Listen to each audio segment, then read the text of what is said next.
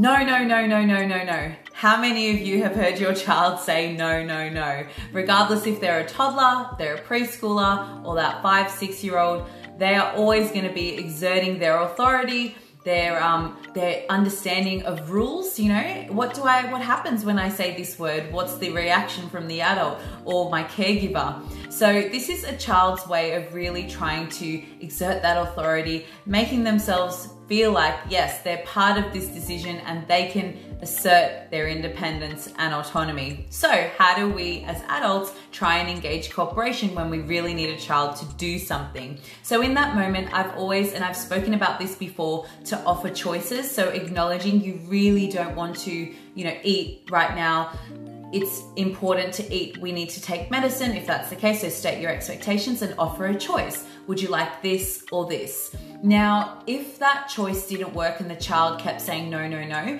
a great thing that I've discovered is using visual cues. So I went to the fridge and I physically put two items in front of the child and I said, Would you like to have this one or this one? You choose.